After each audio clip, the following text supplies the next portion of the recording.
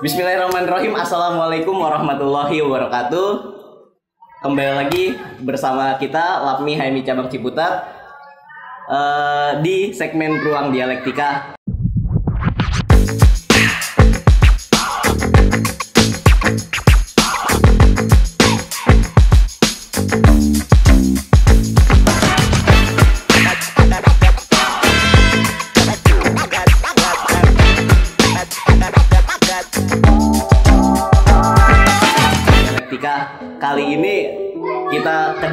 tamu yang sedikit spesial yaitu Kak Purbaindah. Hai, Assalamualaikum. Selamat datang di Lapmi Kak Purbaindah. Kali ini kita akan membahas isu yang sebetulnya nggak eh, berhenti berhenti untuk dibahas. Dari dulu nih pembahasan yang sangat eh, sensitif mungkin, sangat hangat, yaitu tentang feminisme, tentang gender yang belakangan ini juga mencuat eh, pasca dikeluarkannya SK dari Permendikbud. Permendikbud. Eh, di samping saya telah ada Kak Purbaindah. Kayaknya nggak perlu diperkenalkan lagi sih Oh, iya. siapa Yunda Purbaindah ini karena umumnya masyarakat HMI cabang Ciputat sudah mengenal lah siapa sosok ketua umum Kohati cabang ini. Oh my god. Oke lah. Eh, ininya nggak hanya Kohat, eh nggak hanya Hemi cabang Ciputat ya banyak yang lainnya. Oh gitu. yang kenal bukan hanya Kohati cabang Ciputat. Skala nasional kak. Harus, harus Harus, kan harus. emang Lapmi di apa ditontonnya skala nasional. Iya kan? skala nasional. Eh, Asia Tenggara sih kak Oh, wow. Oke lah, langsung saja eh, saya akan memberikan satu pertanyaan yang akan memantik bagaimana pembahasan kita ke depannya. Kalau dari kakak sendiri, secara pribadi ataupun sebagai ketua umum Kohati, apa sih bagaimana Kak Furba ini mendudukan definisi feminisme yang stabil sehingga ini mampu diterima oleh seluruh kalangan masyarakat? Oke, oke baik. Nah, eh, kadang ya sebelumnya kita biasanya kalau ngedengar feminisme itu, oh iya ini dari Barat, oh iya eh, ini adalah rangkaian gitu ya atau sesuatu yang kayaknya nggak bisa banget gitu Ya. Eh, masuk ke jalur-jalur Islam atau Hmm. masuk-masuk ke jalur-jalur di Indonesia gitu secara budaya. Hmm. Nah, tapi sebetulnya feminisme itu kurang lebih cukup kita artikan dengan memperjuangkan perempuan. That's mean gitu loh ya. Jadi feminisme tuh ya udah hanya gerakan untuk memperjuangkan hak perempuan. Nah, kalau misalnya kita uh, berhenti di situ, Hmm. maka sebetulnya memperjuangkan hak perempuan ini kan banyak caranya ya. Ya. Bahkan kalau misalnya bisa kita klik flashback lah ke masa Rasulullah Ya. siapa sih dulu Rasulullah tiba-tiba misalnya ketika waktu di di budayanya yang selalu eh, anak bayi atau bayi perempuan itu pasti dimusnahkan Dimusnahkan. ya kan pasti juga di apa dibunuh Karena dianggap useless lah Yes, berguna. betul. Nah, pada akhirnya pada saat itu Muhammad dengan titahnya mungkin ya dari Tuhan, akhirnya dia memperjuangkan perempuan itu hak perempuan minimal dia untuk hidup. Ya. Sehingga apa? Keempat anaknya yang perempuan dia hidup dan juga bisa uh, terus berkembang gitu. Nah, sebetulnya tindakan Muhammad pada saat itu Ya. adalah memperjuangkan hak perempuan. Hmm. Boleh dong kalau kita pada akhirnya sebut Muhammad itu adalah dengan seorang feminis. Oh. Ya nggak Oke, oke, sih? iya. Berarti bukan hanya sebuah gagasan import ya, Yes, betul. tapi dari timur pun baik itu Islam ataupun Indonesia sudah mempunyai gagasan feminisme itu sendiri gitu. Ya, betul, betul, betul. Berarti kalau jika feminisme ini dianggap definisi stabil ya, kenapa feminisme sering dipertentangkan gitu dengan gerakan melawan laki-laki? Oke, nah sebetulnya ini yang yang salah kaprah ya. Ah. Eh, banyak sekali yang akhirnya me- mengartikan atau mendefinisikan feminisme yang tadi. Eh, ya udah memperjuangkan haknya itu adalah sama dengan laki-laki. Iya. Padahal sebetulnya kedudukan adil yang setara itu kan sebetulnya adalah sesuai dengan proporsionalnya. Emosional ya. begitu dan sayangnya banyak sekali yang mengartikan feminisme itu akhirnya eh, dengan gerakan-gerakan separatis atau gerakan-gerakan yang akhirnya tidak bermoral seperti Iya. itu. Padahal sebetulnya memang feminisme ini kita juga harus menduduki bahwa yang tadi ya kata feminisme sendiri adalah kita cukupkan bahwa eh, gerakan untuk memperjuangkan hak perempuan. Nah, cukup sebetulnya di sana. Kenapa? Karena memang banyak sekali yang sebelum-sebelumnya itu memiliki sistem patriarki Hmm. di mana hanya teman eh, sorry hanya eh, salah satu gender laki-laki yang akhirnya dijadikan istimewa atau perempuan menjadi second sex. Nah kalau kadangkala pada akhirnya eh, feminisme ini kan banyak golongannya ya. Iya. Maksudnya ada yang sosialis, ada yang marxis, ada yang liberal, ada yang radikal, ada juga yang eh, Islam begitu. berarti ada bergradasi lah gitu. Iya betul. Nah kadangkala pada akhirnya semua orang menyamakan. Hmm. Misalnya ada eh, feminis radikal Iya. yang kalau misalnya berkerudung bagi dia itu adalah tidak mendapatkan kesetaraan gitu Iya. ya. Salah satu gagasannya. Pada akhirnya itu di semua disamakan pada ideologi eh sorry pada eh, aliran feminis yang lain. Jadi kalau misalnya feminis Islam ya disamakan dengan eh, feminisme radikal. Nah, itu kan yang sebetulnya salah kaprah. Oleh masyarakat tahun digeneralisir begitu Yes, saja. Betul. Makanya pada akhirnya tidak tidak banyak diterima padahal sebetulnya itu kan berbeda. Berarti kakak pun mengakui ada beberapa gerakan feminisme yang radikal. Oh gitu. iya, jelas, jelas. Begitu. Karena di apalagi di Indonesia eh, yang masyarakatnya plural Hmm. dan semua kita menanamkan eh, demokrasi. Iya. Jadi saya sering sekali juga menemukan atau ketemu dengan teman-teman yang eh, mereka beraliran radikal, Oh. beraliran liberal. Tapi bukan itu, tapi pada intinya kita sama-sama sebetulnya Memperjuangkan. memperjuangkan hak perempuan. Oke, ya. Berarti sebagai sebuah gerakan eh, apa yang kemudian menjadi pokok utama nih feminisme dalam mengadvokasi kasus-kasus seperti pelecehan seksual dan lain sebagainya. Oke. Nah, misalnya yang kayak tadi, Oh. kasusnya isunya adalah pelecehan seksual atau Iya. kekerasan seksual. Sebetulnya pada akhirnya, teman-teman pada aliran mana pun, baik itu radikal, baik itu liberal, baik itu Islam atau baik itu eh, apa sosial marxis, semuanya akan sama pada satu tujuan, Ah. gitu ya. Misalnya soal isu kekerasan seksual. Nah, strategi dan advokasinya berbeda yaitu dikembalikan pada masing-masing. Tapi saya rasa dengan isu kekerasan seksual hari ini, Hmm. bahkan misalnya yang sering kita dengar rancangan undang-undang penghapusan kekerasan seksual, Seksual, iya. itu semua aliran, semua sama kita bersama-sama untuk memperjuangkan itu. Karena kenapa?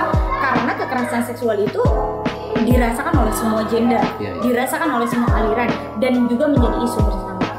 Menja, menja- emang udah sepakat seluruhnya atas eh, gagasan itu. Iya, betul. Fokusnya di sana ya, fokusnya soal kekerasan seksual. Itu udah kekerasan seksual ini udah menjadi common enemy lah bagi Yes. seluruh gerakan perempuan gitu. Betul, betul. Oke, pertanyaan selanjutnya, masif ya pelecehan seksual yang terjadi yang pelakunya kebetulan diintrodusir oleh laki-laki. Apakah gerakan feminisme akan menghantam habis laki-laki dengan alasan kesetaraan?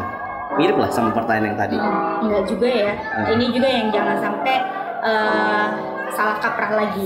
Karena yang tadi feminisme betul Hmm. adalah memperjuangkan hak perempuan. Di mana Iya. kadang kalau misalnya kita taruhlah catatan tahunan Komnas Perempuan tahun 2020 kemarin Iya. sekitar 220 yang menjadi korban lebih banyak adalah perempuan. Bukan berarti teman laki-laki tidak eh, mendapatkan kekerasan tersebut. Tapi sayangnya di kita ini kan masih memiliki budaya yang perempuan aja untuk bisa berbicara, untuk bisa bersuara bahwa mereka mendapatkan kekerasan seksual itu itu kayak sesuatu yang sangat mahal, Iya. gitu kan? Eh, apalagi teman-teman laki-laki karena budayanya, oh iya laki-laki tuh jangan nangis, oh iya laki-laki itu pokoknya harus kuat. Jadi kalau misalnya dapat kekerasan seksual, malu dia pada akhirnya untuk bicara kan sebetulnya itu jadi jadi sesuatu yang lebih kalau kalau kata kita kalau yang perempuan aja korbannya perempuan Iya. ada gunung es.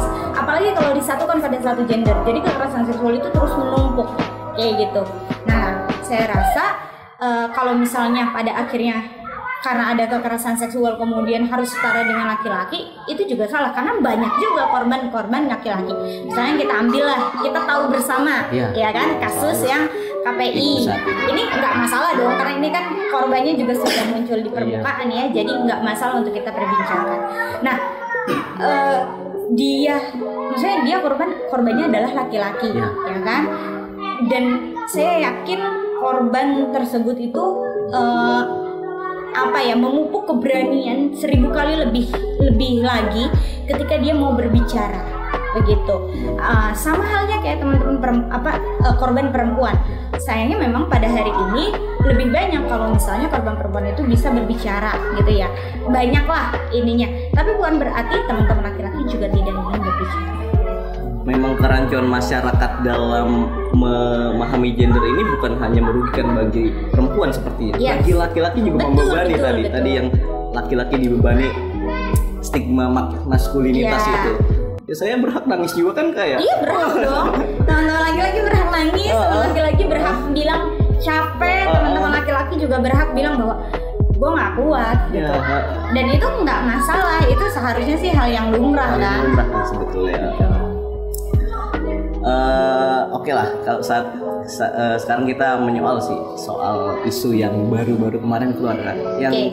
katanya ini melegalkan perzinahan Ah, iya, iya. yaitu tentang SK Permendikbud tadi eh, sebetulnya karena apa ya banyaknya masyarakat yang kurang membaca ini justru eh, hanya membaca judul berita gitu Eh, Mendikbud legalkan perzinahan Iya, di iya, kalangan iya. kampus gitu sebetulnya apa isinya sih kak sebetulnya dan efektifkah itu untuk menghapus kasus kekerasan seksual di perguruan tinggi Oke, baik. Sebetulnya begini, Permendikbud nomor 30 itu eh, bagi saya hari ini, ini ini catatan saya ya, catatan-catatan eh, setelah saya coba menganalisa dari Permendikbud nomor 30 ini. Sejauh ini sebetulnya kalau adanya Permendikbud eh, nomor 30 ini Ya. bagi saya yang melihat, bagi saya yang merasakan itu adalah kayak napas segar Hmm. untuk para korban. Kenapa? Selama saya misalnya di kampus taruhlah dari tahun 2014 Ya. gitu ya, saya masuk eh, kampus tua juga ya. Nah, eh, tapi saya bisa bilang bahwa di sana eh, semester 1 semester 2 saya coba eh, menggaungkan soal apa namanya eh, RUU penghapusan kekerasan Iya. seksual atau mengadvokasi teman-teman korban. Jadi jangan salah, saya pernah pada saat itu eh, apa mendirikan lah sebuah studi gender mahasiswa Iya. di fakultas baru kita dirikan, baru kita ini itu ada korban yang melapor satu korban tiga pelaku. Oh. Itu itu di satu fakultas, belum lagi di yang lain, belum lagi dengan eh, korban-korban yang dia misalnya dari dosen dapat pelecehan. Nah, sebetulnya Permendikbud nomor 30 itu tuh ketika baca dari awal sampai akhir, saya cuma bilang Hmm. keren banget nih Mas Menteri Ya, gitu. Mas Menteri. Keren banget nih Mas Menteri. Kenapa? Karena Mas Menteri saya rasa di sana eh, dengan beraninya. Jadi gini, ada di eh, di sana pengertian kekerasan seksual itu Iya, ya. Di, di Permendikbud nomor 30 ini ada pengertian kekerasan seksual. Nah, sebelumnya belum ada nih undang-undang KUHP yang menjelaskan kekerasan seksual itu apa. Tapi Dalam ini didefinisikan Iya betul gitu. kekerasan seksual ini apa sih kayak gitu ya jenis-jenisnya apa tapi di Permendikbud nomor 30 dengan beraninya Mas Menteri membuat definisi-definisi itu Iya.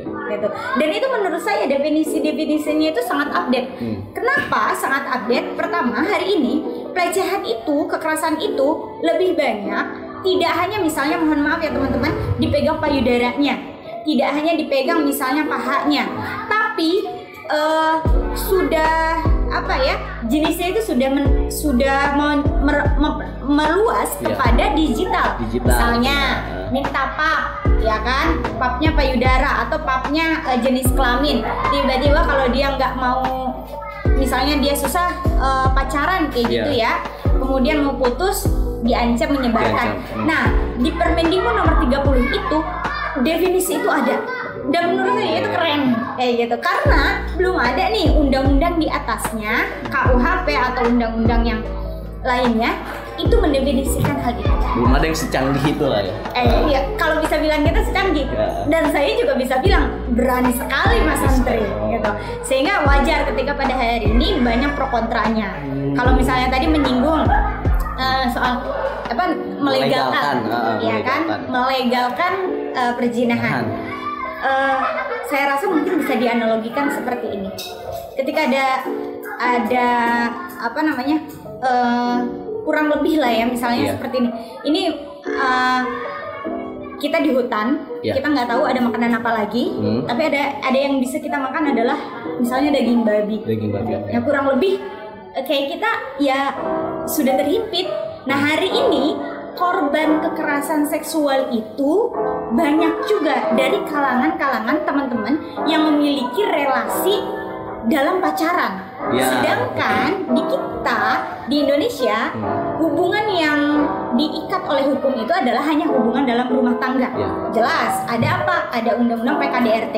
Kalau dalam kekerasan dalam pacaran, padahal selalu di catatan tahunan Komnas Perempuan itu Ya. setiap tahun yang kedua paling tinggi dalam relasi personal adalah kekerasan dalam pacaran. Gitu. Jadi itu terbesar tuh tertinggi setelah KDRT pasti KDP. Nah, sedangkan hari ini pacaran gitu ya, Iya. itu banyak Hmm. tapi dia nggak tahu kalau mau laporan laporan ke apa Eh, hukumnya bahasanya gitu ya yang melindungi dia apa payung hukumnya nah menurut saya Permendikbud ini juga salah satunya adalah melindungi untuk teman-teman yang memiliki relasi pacaran tadi Dan umumnya mungkin kekerasan seksual dalam kampus itu ya mereka yang diikat dengan hubungan yang pacaran. iya kebanyakan kan Iya, kebanyakan seperti sebetulnya itu. walaupun ya ya betul ada relasi yang lain misalnya dari eh dari siapa dari dosen Ya, atau gitu. staf yang lain begitu tapi kurang lebih juga kita harus menyadari bahwa hari ini di kampus banyak juga yang yang mereka memiliki hubungan relasi pacaran gitu. nah selain itu seta, eh, kerennya ya menurut saya Permendikbud nomor 30 ini pertama memang di dibikin nih buat kampus Ya. Tahu SOP penanganan kekerasan seksual. Kita kan mungkin teman-teman juga sering uh, dengar ya, misalnya ada satu uh, case di kampus tiba-tiba gitu ya, yang dapat skorsing adalah korbannya. Ya. Ya kan, itu kan nggak nggak sedikit ya, yang dapat skorsing uh, harusnya pelakunya, tapi dua-duanya misalnya. Demi nama baik kampus. Betul, gitu. atau di di udah didiemin aja demi nama baik kampus. Nah sebetulnya di Permendikbud itu akhirnya dimunculkan untuk agar itu kampus punya SOP tuh. Ya. Ada misalnya mungkin di Permendikbud itu dibikin satuan tugas Hmm. yang terdiri dari mahasiswa, yang terdiri dari apa eh, staf ya mungkin bisa kita ambil misalnya contohnya di UIN pusat studi gender mahasiswa eh Ya. PSGA sorry pusat studi gender dan anak nah mungkin salah satunya adalah itu tapi melibatkan mahasiswa nah kalau ke hati cabang sendiri Ya. sebetulnya hari ini kita sudah beberapa eh, memberikan audiensi dan jauh sebelum Permendikbud ini kita pernah eh, mengajukan hal serupa untuk dibuat satuan tugas tadi itu ke eh, di Universitas Unpam gitu. Dan itu eh, alhamdulillah sebelum ada Permendikbud ini eh, kita juga sudah ada apa namanya kerjasama. Nah alhamdulillah keluarlah Permendikbud ini minimal apa? Minimal bisa memperkuat lah eh, aturan-aturan yang ada. Berarti mungkin ya eh, mereka yang berteriak bahwa Permendikbud ini melegalkan eh, perzinahan, mungkin mereka yang menegasikan fakta bahwa banyak yang berhubungan tentang pacaran gitu. Iya iya. Eh, saya rasa sih demikian. Iya. Cuman memang ya setiap orang kan mungkin ada apa ya, ada argumennya masing-masing. Tapi yang terpenting hari ini kalau misalnya kita mau melihat persoalan kekerasan seksual, Hmm. please menurut saya lihat terlebih dahulu adalah korbannya. Korban ya. Termasuk dengan angka korban tadi yang apa ya yang setiap hari itu terus meningkat. Nah, cuman memang di Permendikbud ini juga saya perlu sampaikan bahwa ada hal yang menurut saya perlu diperbaiki Hmm. dan juga perlu di diperkuat. Seperti hal apa? Nah, di Permendikbud nomor 30 ini mungkin ya kalau hari ini teman-teman melihat eh, teman-teman paham lah Hmm. terkait proses pidana. Nah, itu sebetulnya ada sesuatu yang eh, tubrukan lah bahasanya gitu Timbang tindih. timpang tindih karena di Permendikbud nomor 30 ini menurut saya sanksinya adalah hanya sanksi administratif saja Oh, iya, gitu iya. jadi kalau misalnya ada sanksi pidana ya nggak nggak di situ gitu padahal eh, menurut saya kita nggak pernah tahu korban ini keinginannya untuk apa Iya. karena mohon maaf misal ya uh, Mas Awai pegang saya pahanya atau payudaranya, saya bisa loh melaporkan itu atas dugaan uh, pencabulan KUHP ke uh, polisi, misalnya kayak gitu. Nah, tapi kalau di Permendikbud nomor 30 ini saya rasa misalnya itu terjadinya di kampus ya. Iya. Sebetulnya kan mau itu terjadi di kampus atau ataukah di luar kampus, ketika yang tadi misalnya dilakukan oleh Mas Awai ke saya pencabulan tadi, ini bisa loh. Tetap berlaku ya. Iya betul, tetap berlaku untuk uh, dilaporkan ke pihak kepolisian atas dugaan pencabulan. Iya. Nah, sedangkan di Permendikbud ini, Hmm. ini ya udah diselesaikannya di kampus, begitu ya. Sanksi yang dapat adalah sanksi administratif. Oh. Nah, itu yang menurut saya itu uh, perlu didiskusikan lagi, karena menurut saya perlu adanya nih misalnya ya nggak hanya kampus ya kalau memang si korbannya ini ingin melapor ke pidana ya nggak masalah dong Iya. gitu karena hak dia dan itu juga ada undang-undangnya KUHP tadi gitu Jadi solusinya gitu ya, mungkin diberikan jalur. betul betul jadi eh, seharusnya ya tadi eh, misalnya dirujuk atau didampingi Ya. untuk ke eh, pidana tapi sejauh s- sampai saat ini di Permendikbud nomor 30 itu ya tadi sanksi yang paling optimal adalah sanksi administratif Masih sebatas itu ya. Eh, pertanyaan selanjutnya, Eh, tapi Permendikbud ini bisa nggak menjadi alternatif dari apa yang kebanyakan gerakan perempuan ini perjuangannya itu RUU PKS? Eh, kalau menjadi alternatif hari ini itu Iya. menjadi nafas segar iya Iya. tapi perlu perbaikan tentu gitu tapi eh, yang tadi saya bilang ketika saya baca Permendikbud ini bagi saya itu wah ini nafas segar banget gitu karena eh, kurang lebih memang di, Permen, di Permendikbud nomor 30 itu itu eh, sangat sekali ya sangat sekali bisa untuk apa ya untuk menolong lah minimal tahu SOP-nya ketika dilaporkan Iya. kayak gitu kemudian bagusnya juga salah satunya di Permendikbud nomor 30 itu misalnya gini di kampus mandek nih eh, Iya.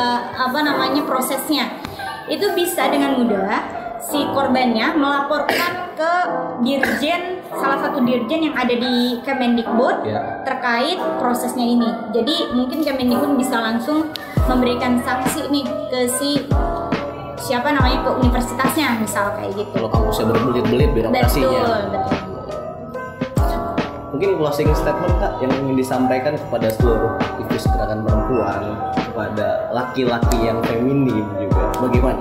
Eh, kalau dari saya eh, perjuangan gitu ya perjuangan untuk memperjuangkan hak perempuan atau memperjuangkan gender baik itu laki-laki atau perempuan budayanya di Indonesia kita merekonstruksi lagi budaya yang ramah gender itu eh, belum cukup sampai di sini. Jadi eh, misalnya kita dapat nafas segar tadi mungkin bagi kita para mahasiswa di Permendikbud ini tapi jangan lelah karena itu juga masih kurang karena tujuan kita adalah merekonstruksi budaya yang ramah gender di masyarakat maka itu juga bukan tugas perempuan saja Tugas. itu juga bukan tugas kohati saja maka saya selalu senang ketika eh, ada training-training di Kohati, ada training-training atau kajian-kajian di Kohati itu juga eh, diikuti oleh teman-teman HM Iwan begitu karena tugas kita memperjuangkan eh, budaya masyarakat yang ramah atas gender itu tugas bersama gitu. As a partner laki-laki perempuan ya sama aja di depan tuh. Eh, sebentar lagi kok hati mau ada acara ya? Oh iya, benar.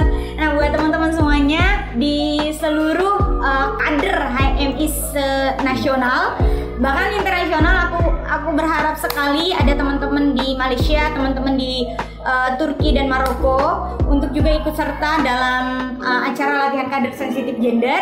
Jadi ini uh, nanti trainingnya tidak hanya diikuti oleh teman-teman Wati, tapi sama teman-teman Wan. Dan tenang acaranya online, jadi untuk teman-teman di Maroko, teman-teman di Turki, teman-teman di Malaysia juga bisa ikut serta. Kapannya masih belum tahu ya. Coming soon. Oh ya, Nanti pokoknya terus uh, cek di Kohati Ciputat. Oke, eh, terima kasih Kak Purba atas eh, penjelasannya tentang kita di di apa ya? Kalau kata apa? Educate, di edukasi, educate yourself. iya. kata itu kata SJW SJW Twitter. telah diedukasi bagaimana tentang pemahaman kita tentang feminisme dan bagaimana uh, penjelasan atau isu-isu yang terdistorsi di media itu diterangkan oleh Kapurba tentang Permendikbud tadi. Mungkin cukup sekian uh, dari saya. Uh, sampai berjumpa lagi di ruang dialektika. Saya Awe Avansyah pamit undur diri. Wassalamualaikum warahmatullahi wabarakatuh.